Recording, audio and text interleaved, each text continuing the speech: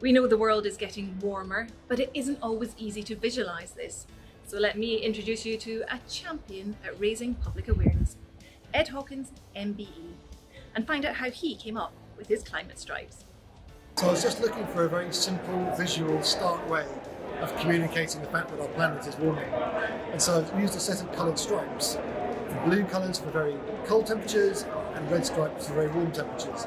And they're just shown as one stripe per year to represent the global temperature in that year, starting in 1850 and running up to today.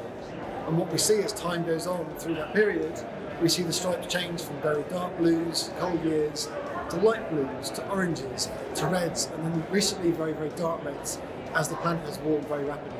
The public understands a lot more about climate science and about the consequences that we face from our warming world. And I think the recent weather events have really brought home that message.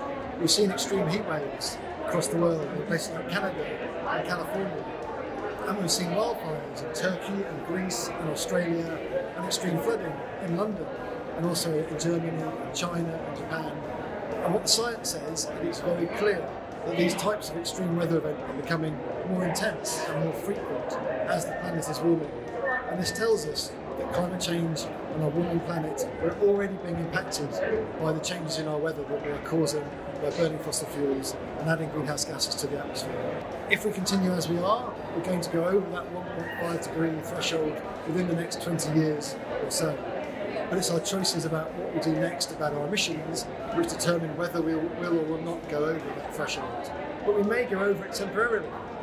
But we can, in theory, bring the temperatures back down again by extracting carbon dioxide from the atmosphere and storing it underground where it can no longer affect the the planet. Climate scientists all over the world have spent a lot of time communicating the science, talking to policymakers, talking to the public to let them realise the risks that our world is facing from a warming planet. And it's thanks to all of our efforts that we're now seeing politicians hopefully take this very seriously and make the very difficult choices about what we do next.